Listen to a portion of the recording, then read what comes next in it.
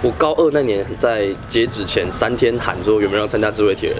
在班上随便凑就哎、好啊，我我要参加，然后就突然凑了六个人出来，我没有任何的就是预设立场，就是可能谁比较强，什么找谁这样，结果进去之后发现每个人刚好会的都不一样。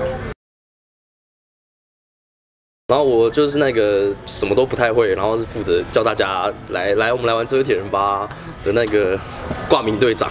贡献吗？团队士气鼓舞啊！你们开会议程嘛，就是想用有些时候团就是队伍需要重整一下，例如说现在方向不见了，对吧？我们可能需要重新调整一下步伐，然后还有就是周点的题目分三类，自然、人文跟体级，体育及其他。然后体体级类我的表现比较突出，对，嗯运动能力比较佳。学习到的事情，学生时期的话，我觉得我学到的是抬头站起来学习这件事情。当学生的时候，我们都是坐着学习，我们永远只能坐着看台上。离开了学校这个保护伞，回家也是坐着做我自己的事情，或是做学校给我的事情，或做社会对我期待的事情。可是智慧铁人让我站起来学习，我觉得我累积的东西，学业是我原本以为我会的东西。那其他这些其实这个框框再画大一点，这些东西才是我会的东西，我全部会这么多。那我在铁人里面的时候，发现我可以拿这么多东西出来玩，不再是只有这样。我记得解题的时候，什么都用到啊，平这就是你平常累积出来的结果。在参加铁人之前，因为学业压力的关系，但我们只能专注在这个框框上面。当然，我觉得我家长很棒，我父母很支持我去参加这个活动，所以会让你觉得你抬头之后发现这个这个整框框都是你要学的东西，还是你想去发现的东西，然后让我朝更多更广方面去学习，觉得这是很有帮助的地方。所以这些经验都变成之后会用到很棒很棒的东西。这是高中实习我的框框，那关主就是要在这里往下看，就是我我看到的是这些理论上我们高中高职都学会的基础核心知识，那我该怎么用这个框框去包它，然后让他们可以看到这个题目的套路该怎么走的时候，不会是一个死题，必须要我想通、合乎逻辑，然后有挑战性，再让他们可以解出来，有有规则可循的方式，用推理的方式去把这个题给解出来。那高度不同的时候，看到的视野就不一样。就是你从上面往下看的时候，有些时候你会看到一条路，这是一个直线解，你认为大家都可以想到这边才对，可其实这是就是万万不得的。我们铁人精神就是要有多条路都可以打到这边。你通常关考分成就是实际的部分、操作的部分跟文本的部分。那我该如何让一个死死的文本包在一个很好玩的关卡里面？还有就是，例如说我面试工作的时候，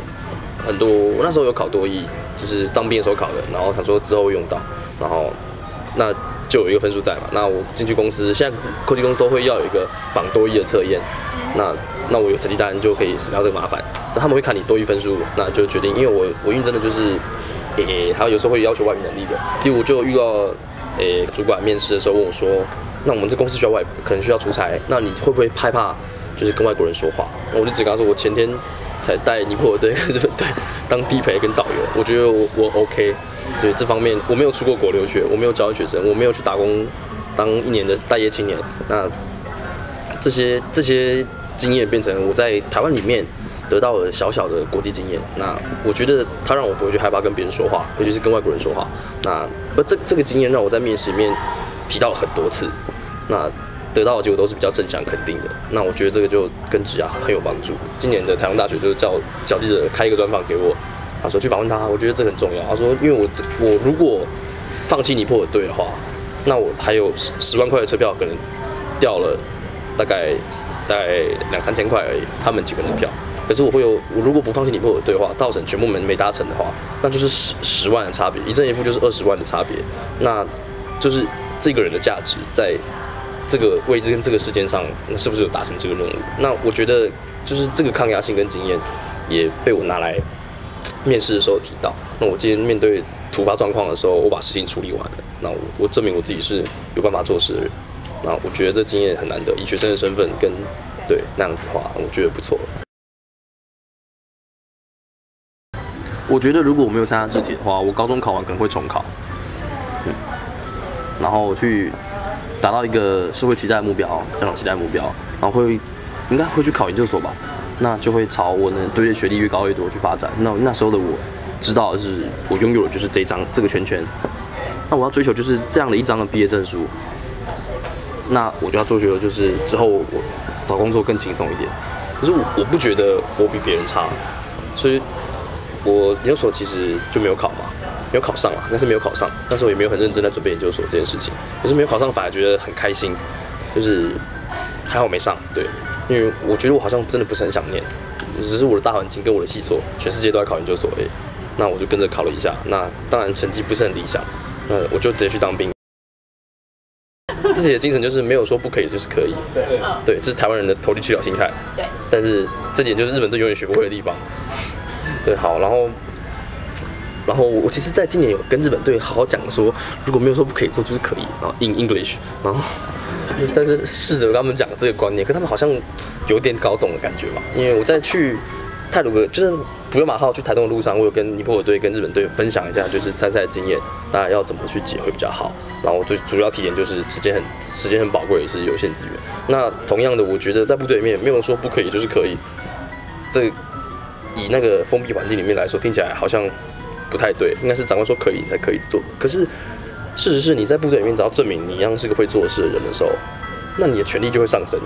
那日子就会变得比较好过一点。对社会什么贡献？我觉得是让我们我们让做事情做事情变得聪明化。不管任何事情，一定会有，就是其中或多或少我们会把它最佳化，optimization 绝对有，因为觉得生活变得更简单了一点，就是我们不需要去绕太多圈圈，我会看到事情的本质，更容易知道这件事情其实可以这样做，对，没有说不行的，就是可以，那在生活上就变得很轻松。